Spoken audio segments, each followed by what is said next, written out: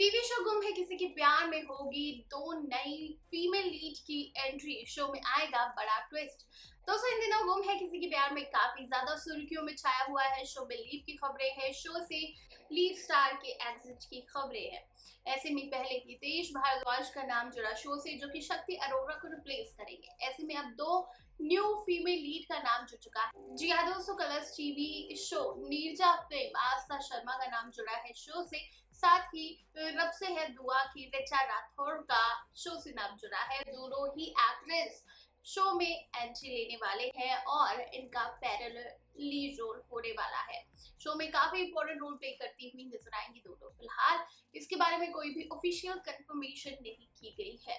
दोस्तों इन दिनों गुम है किसी के प्यार में। काफ़ी ज़्यादा सुर्खियों में छाया हुआ है। शो में लीव की खबरें हैं। शो से क्या कुछ कहना है आपका इस बारे में? कमेंट्स में बताइए और टेलीविज़न से जुड़े लेटेस्ट अपडेट्स के लिए सब्सक्राइब करिएगा हमारे चैनल